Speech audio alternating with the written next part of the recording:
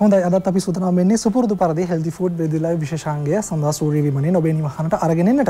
අද ටිකක් වෙනස් හිතවතුනි මොකද අපි පහුගිය දවස් කිහිපෙම හෙල්ති ෆුඩ් බෙල්දිලා විශේෂාන්ගෙන් අරගෙනාව ඔබේ නිවහනට අපේ පුංචි දවාදරුවන්ට කොහොමද පෝෂණයෙන් සපිරි සෞඛ්‍ය ආරක්ෂිත ආහාර වේලක් නිෂ්පාදනය කරගන්න කියන කාරණාව සහ වැඩිහිටියන්ට කොහොමද සෞඛ්‍ය ආරක්ෂිත ආහාර වේලක් නිෂ්පාදනය කරගන්න නැත්නම් ගෙදරදී සකස් කරගන්නේ කොහොමද කියන කාරණාව පිළිබඳව තමයි අපි ඔබත් එක්ක කතා බහ කරේ.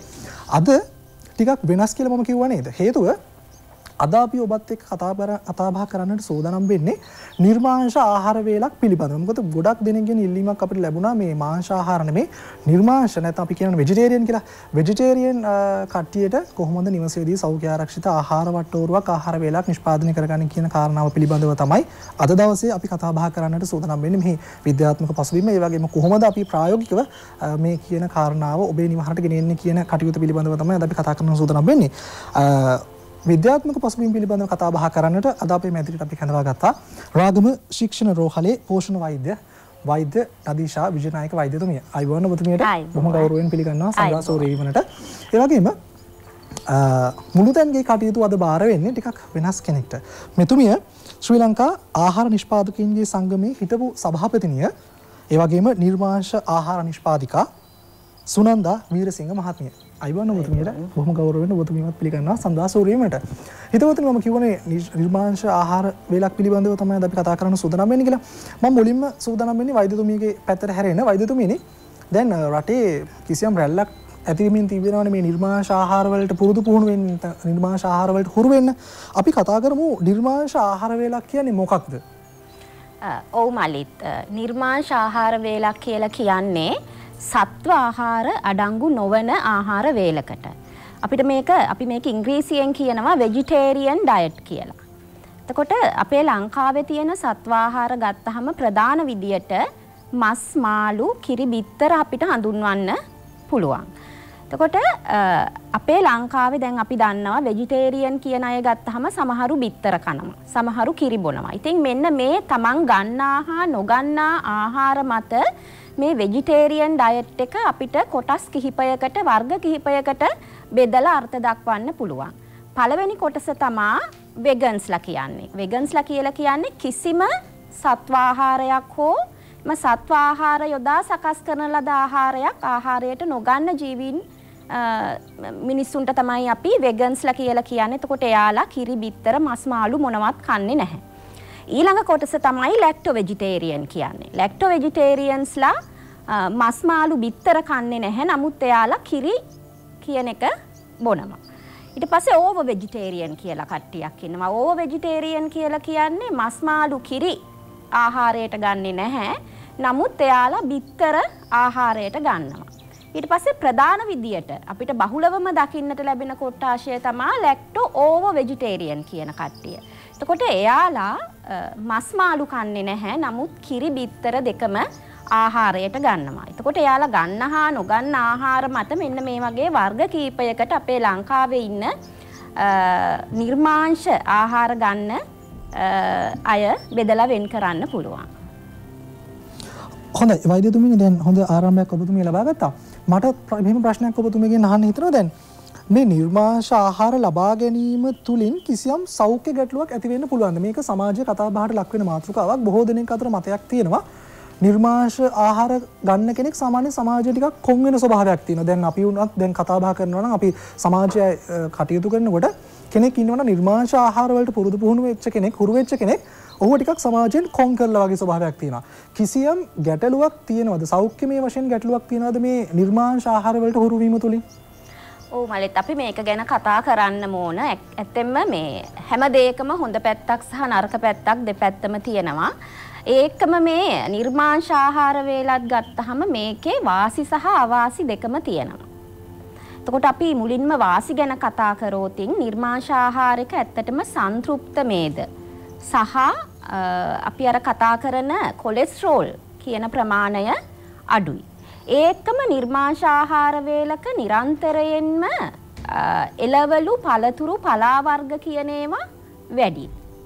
එතකොට මේ එළවලු පළතුරු පලාවර්ගවල අපිට අපේ ඇඟට ගුණ දේවල් ඒ කියන්නේ තන්තු ප්‍රතිඔක්සිකාරක ඒ වගේම අර ෆයිටෝ කෙමිකල්ස් කියන ඇඟට යහපත් ප්‍රතිඵල ගෙන දෙන සංගටක මෙන්න මේ එලවලු පළතුරු පලාවර්ගවල අඩංගු වෙනවා. එතකොට මෙන්න මේ දේවල් දිහා බැලුවම දැනට විද්‍යාත්මක දත්ත මගින් තහවුරු කරලා තියෙනවා වෙජිටේරියන් ඩයට් එකක්. ඒ කියන්නේ නිර්මාංශාහාර වේලක් ගන්න පුද්ගලයන්ගේ හෘද රෝග අධික රුධිර පීඩනය කොලෙස්ටරෝල් ඒ වගේම සමහර පිළිකා ඇතිවීමේ අවදානම යම්කිසි මට්ටමකින් අඩු කරනවා කියලා.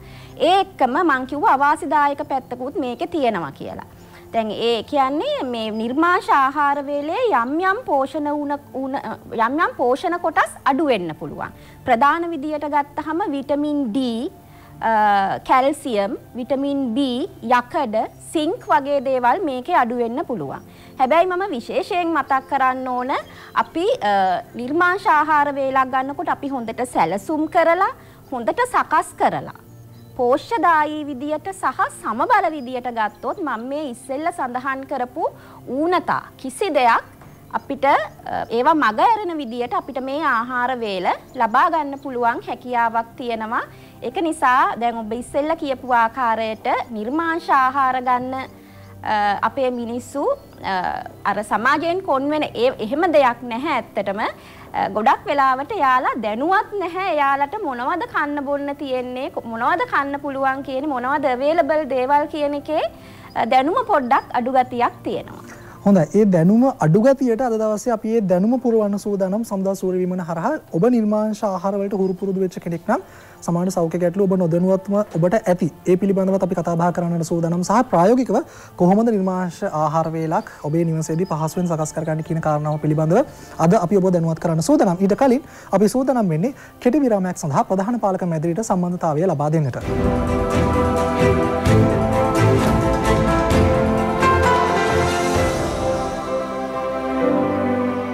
හොඳ විරාමෙන් අනතුරුව ඔබ නැවතත් සජීවීව සම්බන්ධ වෙන්නේ සඳහා සූර්ය විමනේ හෙල්දි ෆුඩ් බෙල්දි ලයිව් විශේෂාංගයත් එක්ක ආරම්භයේදී කිව්වා අද අපි කතා කරන්නේ නිර්මාංශ ආහාර වට්ටෝරුවක් පිළිබඳව මෙහි විද්‍යානුකූල පසුබිම සහ ප්‍රායෝගික තත්ත්වය පිළිබඳව තමයි අද අපි කතා කරන්න සූදානම් වෙන්නේ.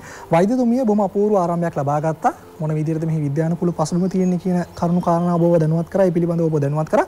දැන් අපි ඔබ සූදානම් වෙන්නේ කොහොමද නිවසේදී මේ විදිහට සමබර ඒ වගේම පෝෂණයෙන් සපිරි සහ පෝෂදායී සහ අපි සාමාන්‍යයෙන් කියනනේ සාක්කුවට හොඳ හිතකර දෙයක් වෙන්නත් ඕනේ කියලා. ඒ කාරණාව ගැනත් අපි සැලකිලිමත්. මේ කියන කරුණු කාරණා සේරම අද අපි ඔබව දැනුවත් කරන්න සෝදනා මේ කියන කරුණු කාරණා සියල්ලම පිළිබඳව. අපි යමු වෙන්නේ දැන් නිර්මාංශ ආහාර නිෂ්පාදිකා සුනන්දා වියසිංහ මහත්මිය දෙසට.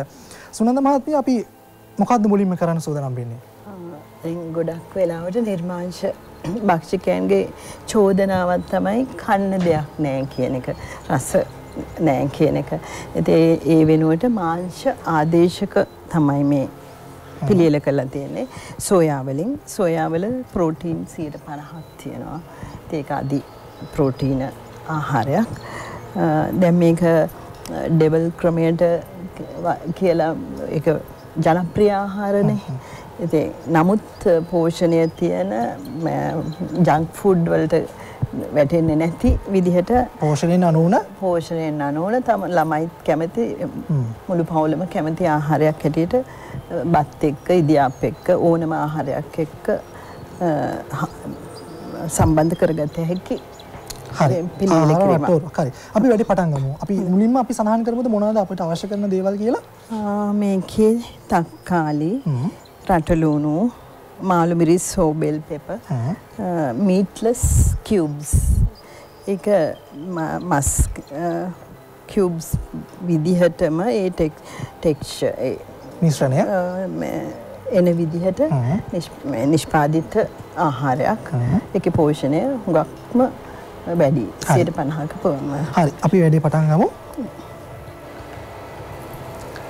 ගමු පයිදතුමිනි දැන්න අපි මුලින්ම කිව්ව නිර්මාංශ ආහාරයක් කියලා කියන්නේ මස් මාංශ වලින් තොර වෙන්න ඕනේ. එතකොට මස් මාංශ වලින් තොර වුණාම ඒ පෝෂණ අවශ්‍යතාවයන් අපිට සපුරා ගන්න විවිධ විවිධ ක්‍රම තියෙනවානේ.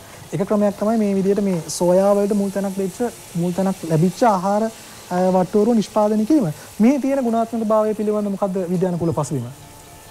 දැන් සෝයා කියලා කියන්නේ අපේ ලංකාවේ නිර්මාංශ ආහාර වේලක් ගන්න අය බොහොම බහුලව ආහාරයට ගන්න කෑමක් තමයි.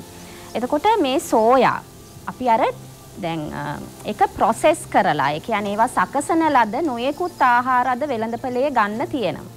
ඒකම අපිට බහුලවම දකින්න ලැබෙන දේ තමයි TVP. සෝයා මීට් කියලා අපි හඳුන්වන්නේ. එතකොට ඒ සෝයා ඇට ප්‍රොසෙස් කරලා යම්කිසි ආකාරයකට සකස් කරලා තමයි ඒ වෙළඳපොලේ තියෙන දේවල් අපිට හම්බ වෙන්නේ. එතකොට සෝයාවල ඇත්තටම හොඳ ප්‍රෝටීන්. ඒ කියන්නේ සම්පූර්ණ ප්‍රෝටීන් අඩංගු ආහාරයක් කියලා තමයි සෝයා කියලා කියන්නේ. මස් මාළු වගේම දැන් අපි ප්‍රෝටීනයක් ගත්තොත් ඒක සම්පූර්ණ ප්‍රෝටීනයක් කියලා කියන්නේ ඒකේ තියෙන ඇමයිනෝ ඇසිඩ් ප්‍රොෆයිල් එක ඒ සියලුම ඇමයිනෝ ඇසිඩ් ප්‍රොෆයිල් එකේ ඒකේ අඩංගු වෙනවා නම් අපි ඒකට කියනවා සම්පූර්ණ ප්‍රෝටීනයක් කියලා. හරි අපි ඒ සකස් කරගත්ත මිශ්‍රණයට දැන් තක්කාලි යොදාගත්තා. බොහොම අපූර්ව වර්ණ සංකලනයක් තියෙන අපි සෝයා යොදාගත්තා, බෙල් පෙපර් යොදාගත්තා, ලූණු යොදාගත්තා. දැන් චුට්ටකට කලින් අපි තක්කාලි යොදාගත්තා. මේ සුනන්දා මහත්මිය මේ මේ එකතු කරගන්න දේවල් පිළිබඳ පිළිබඳවත් අපි පොඩ්ඩක් කතා කරමු. අපිට ওই වෙනුවට දැන් සෝයා කියන දේ අපිට අනිවාර්යයෙන්ම යොදා ගන්න වෙනවනේ නිර්මාංශ නිසා. මේ එකතු කරගත්ත අනිකුත් ද්‍රව්‍ය වලට අමතරව අපිට ආදේශක මොනවද එකතු කරගන්නත් පුළුවන්? කිව් එක මස් කරියක් වගේ හදාගන්නත් පුළුවන්.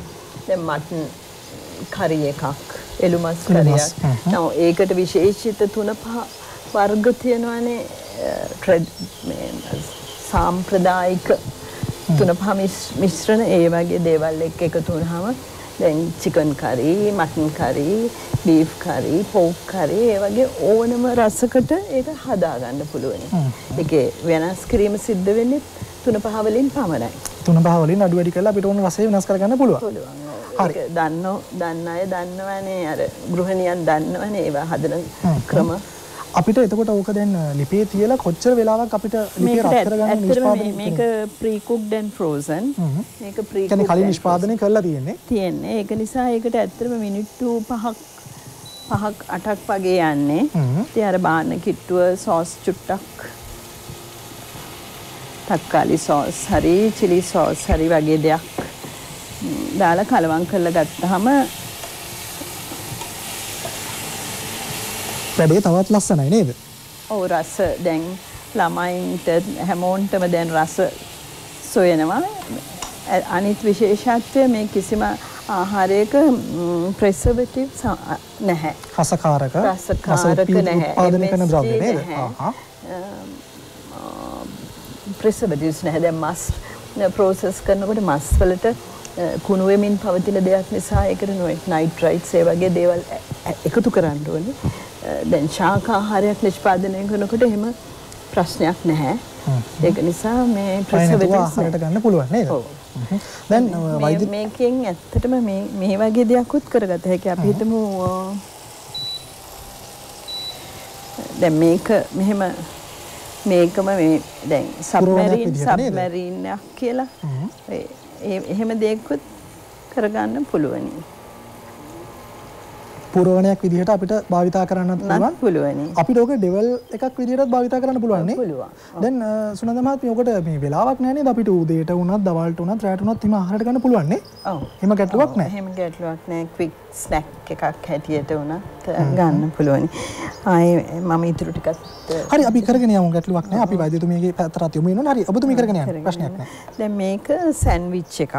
දැන් මේකට සෑන්ඩ්විච් පෙත්ත තියලා තමුන්ට කැමති දෙයක් දාන්න පුළුවන් තක්කාලි මාළු මිරිස් හරි බෙල් පෙපර් චීස් ඒ වගේ දේවල් තියලා මෙහෙම එකතු කරලා ඊට පස්සේ මම ඒක ටෝස්ට් එකේ මේ හදාගත්තා. ඒතර පාසල් ළමයින්ට ඉතා පහසුවෙන් ගෙනියන්න පුළුවන්. දැන් ගොඩක් ළමයි පිට්සා රසට ආසයිනේ. දැන් මේකේ ඒකට හරියන රස ටික තියෙනවා. ලූුණු තියෙනවා අපිට බැලුහක්නේ ලූුණු තිය අපි පොඩ එක පෙන්නමු අපේ ගෙදරන්න ගෘහණියන්ටත් ඒක වැදගත්තේවි ලූුණු තියෙනවා බෙල් පෙප තියෙනවා. ඒ වෙනට මාළු මිරිස් භාවිතා කරන්නත් පුළුවන්. මේ මීට් ෆ්‍රී සැන්විච් ස්ලයිස් කියන එක තියෙනවා.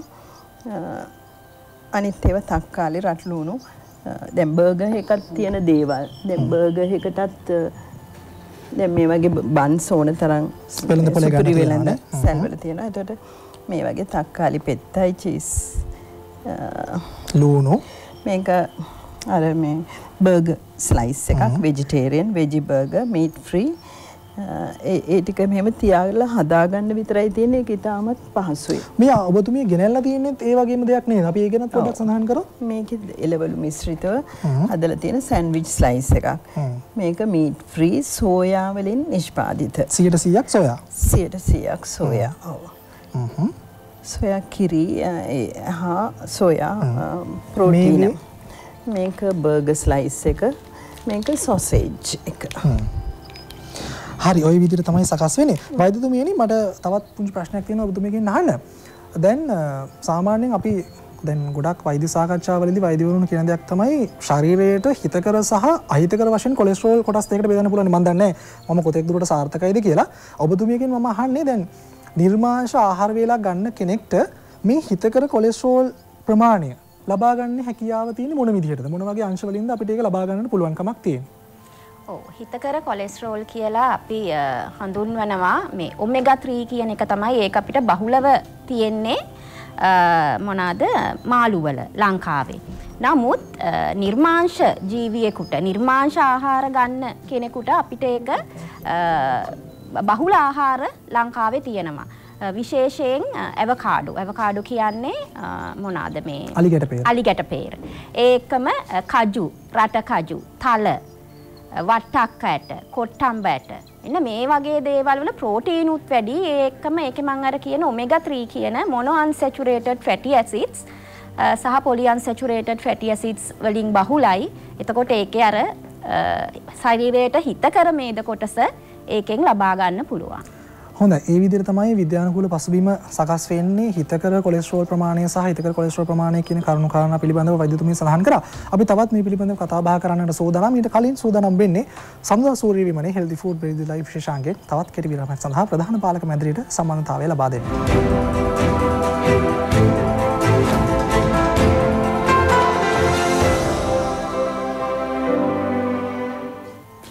හොඳ විරාමයට අනතුරුව ඔබ නැවතත් සජීවීව සම්බන්ධ වෙන්නේ සමුදා සූරිය වෙමනේ හෙල්දි ෆුඩ් වෙල්දි ලයිව් විශේෂාංගයත් එක්ක අපි කතා කරමින් හිටියේ නිර්මාංශ ආහාරයක් පිළිබඳව බොහෝ දෙනෙක් ඉල්ලීම් තිබුණා අපි මාංශමය ආහාර එහෙම නැත්නම් පුංචි දුවදරුවන් වෙනුවෙන් තමයි ගොඩක් දවස්වලට අපි මේ ආහාර වට්ටුන් පිළියෙල කරන්න කියලා. ඉතින් අපි ඔන්න ඔබට ඒ ඉල්ලීම් කරපු ඔබට සාධාරණයක් ඉෂ්ට කරන්න අද අපි ඔන්න කතා කරන්න සූදානම් උනේ නිර්මාංශ ආහාරයක් පිළිබඳව.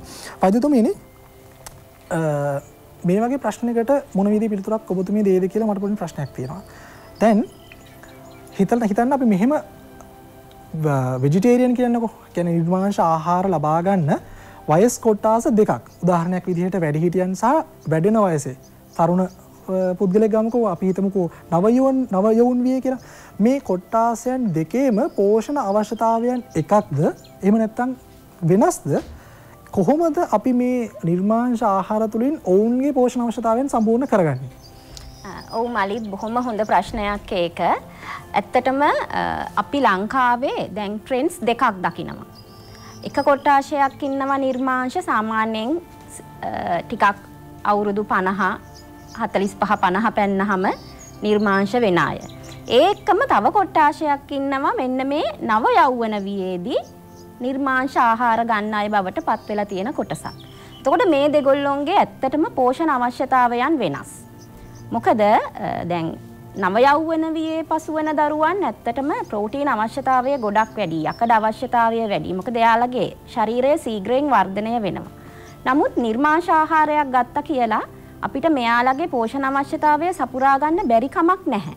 උට අපිට ඒකට පොඩි පොඩි දේවල් ටිකක් ඔළුවට ගත්තනම් පොඩි පොඩි දේවල් ටිකක් ගැන දැනුවත් වුණා නම් අපිට මේක ඇත්තටම පහසුවෙන් ඉටු කරගන්න පුළුවන්. උදාහරණයක් හැටියට ගත්තොත් අපි මුලින්ම බලන්න ඕන අපි අපිට කොච්චර ප්‍රෝටීන ඇඟට අවශ්‍යද කියලා. සාමාන්‍යයෙන් වැඩිහිටියෙක් ගත්තහම එයාගේ බර ගත්තහම කිලෝග්‍රෑම් එකකට ප්‍රෝටීන ග්‍රෑම් දශම අටක් හෝ එකක්. විදියට දවසට දෛනික පෝටීන අවශ්‍යතාවය වෙනමයි කියන කිලෝග්‍රෑම් පණහක් බර පුද්ගලයෙක් නම් සාමාන්‍යයෙන් ග්‍රෑම් පණහක් විතර ප්‍රෝටීන දවසට අවශ්‍යයි. ඒ වගේ නෙමේ කුඩා දරුවන් සහ නවයෞවන වියේ පසුවන දරුවන්ට ප්‍රෝටීන අවශ්‍යතාවය වැඩි. දැන් අවුරුදු පහක විතර වෙන දරුවෙකුට ප්‍රෝටීන සාමාන්‍යයෙන් ග්‍රෑම් තිහක් විතර ඕන. ඒකම වැඩෙන වයසේ. නවයෞවන වියේ පසුවන ගැහැණු දරුවෙකුට ප්‍රෝටීන ග්‍රෑම් හැත්තෑවක් විතර ඕන දවසට. ඒකම පිරිමි දරුවෙකුට ඒ වයසේ ප්‍රෝටීන ග්‍රෑම් අසූ පහක් විතර ඕන. කොට අපි බලන්න ඕන ලංකාවේ අපිට පහසුවෙන් හොයාගන්න පුළුවන් පහසුවෙන් අපිට නිවසේදී ආහාරයට ගන්න පුළුවන් ප්‍රෝටීන බහුල ආහාර මොනවද කියලා ඇත්තටම ලංකාවේ අපි ජනගහනය ගත්තොත් අපේ ප්‍රෝටීන පරිභෝජනය ඉතාමත්ම අඩුයි. තකොට අපි මේක වැඩි කරගන්න ක්‍රම ගැන පොඩ්ඩක් බලමු අපි බලමු මොනවද ලංකාවේ අපිට ප්‍රෝටීන බහුල ආහාර කියලා. තැම්මං ඉස්සෙල්ල සඳහන් කරා නිර්මාංශ ආහාර වේල් අනුව එයාලා එක එක කොටස් වලට බෙදන්න පුළුවන් කියලා. කොට සමහරය බිත්තර කනවා සමහරය කිරිබොනවා. ගේ නිමක් අයිතුමනේ අපි දැන් වෛද්‍ය පසුම නත විද්‍යානකුල පසුම ඔය විදිර සාකච්ඡාවට බඳුන් වේගෙන යද්දී ම හිත පොඩක් මුලතන්ගේ පැතර තවදාන යබාගත් හොඳයි මොකද ගොඩක් දෙනෙක් බලාගෙන මේ ප්‍රයෝගික කොහොමද ශ්‍ර සිද්ධ කරන කියන කාරණාව සුනන්ද විරසිං මහත්මය අපි මේ බර්ගක හැදුවනේ අපි පොඩ්ඩක් කතා කරමු දෙකේ පස් අපි ඒ පිළිබඳ පොඩ අඩුවෙන් කතා කර කියලා මට හිතුණා. බර්ග එකක් හදාගන්න හරිම ලේසි. පාසල් යන දරුවන්ට මෙහෙම හදලා දෙන්න උදේ ඉතාමත්ම පහසුයි. දැන් මෙතන පාවිච්චි කරලා තියෙන්නේ බට හා අබ තැවරුම බර්ග බන් එකකට දාලා ඒකට තක්කාලි පෙත්තක් රටලූණු පෙත්තක් මෙහෙම මීට් ෆ්‍රී බර්ග ස්ලයිස් එකක් චීස්. දැම්හම ඉතින් ඒ නියම රස එනවා. දැන් සුනන්ද විරසිං මහත්මයා මේ බර්ගර් ස්ලයිස් එක අපිට කොච්චර වෙලාවක් ලිපේ තියලා ගන්න අවශ්‍යද? එහෙම වෙලාවක්? ඒක මේ ප්‍රීකුක්්ඩන් ෆ්‍රෝසන් ඩීෆ්‍රොස්ට් කල්ලා ගැන ශීත හැරල ලක් කලා තියෙන ඕ ශීත හැර කෙලින්ම පාවිච්චි කරන්න ලිප තබයිම අවශ්‍ය වෙන අවශ්‍ය වෙන්න කෙලින්ම පිටරගෙන භාවිතර ගන්න පුළුවන්. පුළුවන්. ඒක නිසා ගෘහණයට ඒක හුඟාක්ම ලේසි. දැන් මේ සැන්විච් එකක් හදාගන්න වනත් ඉතාමත්ම පහසුයි. දැන් බට කැමරාව පැත්තර හැරමු. දැන් මේ සැන්විච් ස්ලයිස් එක බට බ්‍රෙඩ් තමුන්ට කැමති විදිහට චීස් තක්කාලි රටලූුණු දැන් වෛද්‍යතුමිය කිව්ව මගේ දැන් යකඩ ඌනතාවයට ගොටු කොල මංහිතන්නේ හොඳ මේ ආහාරයක්. ට හනද ඒ ප්‍රශ්න තමයි. දැන් අපි හැමතිස්සෙම අර සාම්ප්‍රදායිකව සලාද කොළම තියන පුරුදු වෙලා තියෙනවා. දැන් ගොටු කොල ෆ්‍රෙෂ් ගොටු කොල ටිකක් ලියල දැම්මහම මේ රස එක්ක ගොටු කළ එක්ක ඒක හොඳ ආහාරයක් බවට පත්වෙනවා ගුණේ ගුණේනුත් හුඟක් උසස් වෙනවා. සැන්විචස් වලට වුණත් ඉතින් ඒ විදිහට පුළුවන්. ගොටු කොළවල තවත් කියන්න ඕනේ දෙයක් තමයි දැන් සෝයා කිරි දැන් මේ පාසල් දරුවන්ට මේක මෙහෙම භාජනයක මේක තියෙන සෝයා මෝල්ට්. දැන් සෝයා මෝල්ට් එකේ තියෙන මේ පවුඩර් එක මෙහෙම ගෙනහිල්ලා ඒගොල්ලන්ගේ දිවාහාරය වෙලාවේදී වතුර ටිකක් විතරක් එක් කරලා ඒගොල්ලන්ටම පිළියෙල කරගත්තොත් අපිට දැන් පිළියෙල කරන ලද කිරි ආහාරයක් නම් මේ එක්කෝ ෆ්ලාස්ක් එකකට දාන්න ඕනේ. එහෙම මුකුවත් නැතුව මේ මේ විදිහට ඒ වෙලාවට වතුර එකතු කරලා ෂේක් කරලා ගත්තනම් හොඳට ෂේක් කරලා ඔව්. එතකොට මේක මිශ්‍ර වෙනවා හොඳට හොඳට මිශ්‍ර වෙනවා. ඊට පස්සේ තමුන්ට බොන්න අවශ්‍ය වෙලාවට බොන්න පුළුවනි. දැන් මේ වගේ ආහාරයක් ගෙදර ඉන්න දවසට ගොටුකොළ මේ බ්ලෙන්ඩර් එකේ ක්‍රීම් කරලා පෙරලා අරගෙන සෝයා දෙකම ශාක සෝයා ප්‍රෝටීන් කිරිවලට එකතු කරගෙන ඒක හොඳ හොඳ රසයි. ඒ වගේම ඒකේ මෙමරි පව ඒ කියන්නේ මතක ශක්තිය වැඩි දියුණු කරන්න පුළුවන්. වැඩි දියුණු කරගන්න පුළුවන්. යකඩ මට මතක හැටියට ග්‍රෑම් මිලිග්‍රෑම් නෙමෙයි ග්‍රෑම් 7යි නෑ 60 ගානක් වගේ තියෙනවා. අපේ වෛද්‍යතුමියකින් නිරාකරණය කරනවා. නිරාකරණය කරනවා. ඒකටත් හොඳ අවස්ථාවක් තියෙනවා වෛද්‍යතුමිය අපේ මැදිරිම ඉන්න නිසා. ඔව්. ඒත් යකඩ ප්‍රතිශතය ඉතා ඉහළයි. බුද්ධි වර්ධනයට ඒ සියල්ලටම මේ මොකද්ද මේ මට මේක ආපු වෙලාව ඉඳලා මේ ගැටලුවක් තිබුණා. හදාගමු. මේක බ්‍රෙඩ් පුඩින් එකක්. මේක හදාගන්න යන්නේ චයිනා මොස් පුඩින් කියලා. කරමු. හරි. චයිනා මොස් පුඩින් කියලා තියෙනවා. ඉතින් දැන් අපිට හරි ලේසි දැන් උදේට ළමයින්ට රසත් හොයනවනේ. ඒගොල්ලන්ට මොනවා හරි. දැන් සුල්තානා කියන ඩ්‍රයිඩ් සුල්තානාවල ඒත් යකඩ ඉහළ ප්‍රතිශතයක් තියෙනවා.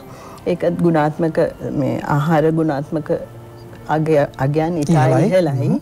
ඉතින් එතකොට ඒ මේ සුල්තාන අපිට මේ ෆ්‍රෙෂ් මිදි ගන්න ගියොත් ඒවා මිලෙන් අධිකයි. නමුත් මේක මිලෙනුත් අඩුයි. ශරීරයටත් හිත කරයි. ඉතින් මේක බොහෝම ලේසියෙන් අර කිරි ටිකක දිය කරලා වක් කරන්න විතරයි තියෙන්නේ. එහෙම වක් කරලා හදාගත්තු දෙයක් ඒගොල්ලන්ට දිව ආහාරයක් හැටියට දෙන්නත් පුළුවන්. හොඳයි. වෛද්‍යතුමියනි අපි දැන් භාවිතා දැන් අපි මේ කතා කරමින් හිටියේ නීර නිර්මාංශ ආහාර පිළිබඳවනේ. දැන් අපි වැඩසටහන ආරම්භයේදී කතා කරා මේ සමාජයේ තියෙනවා යම්කිසි රැල්ලක් මේ නිර්මාංශ ආහාර කෙනෙක් භාවිතා කරනවා නම් ඒ මේ මේ භාවිතා කරන කෙනාට සෞඛ්‍ය වශයෙන් ගැටලු ඇති වෙන්න පුළුවන් කියලා. උදාහරණයක් විදිහට නීරක්තය වගේ. මේ මොන වගේ පසුබිමක්ද තියෙන්නේ? ඔව් මං ඉස්සෙල්ල කිව්වා දැන් උණ- දැන් එම ආහාරය යම්කිසි පෝ- බ- පෝෂණ කොටස් අඩු වුණොතින් විතරක් ඒ වගේ ඌනතාවයන්ට ලක් වෙන්න පුළුවන්. ප්‍රධාන විදියට ප්‍රෝටීන ඌනතාවය සහ අ, යකඩ ඌනතාවය. දැන් ප්‍රෝටීන ගැන අපි විශේෂයෙන් කතා කරන්න ඕන. එතකොට ලංකාවේ නිර්මාංශ කෙනෙකුට ගන්න පුළුවන් ප්‍රෝටීන වර්ග මොනවද කියන එක ගැන අපි බලන්න ඕන. මං කිව්වා ලංකාවේ වැඩිපුරම ඉන්නේ කිරි සහ බිත්තර ආහාරයට ගන්න නිර්මාංශ නිර්මාංශ. කොටසක් කියලා.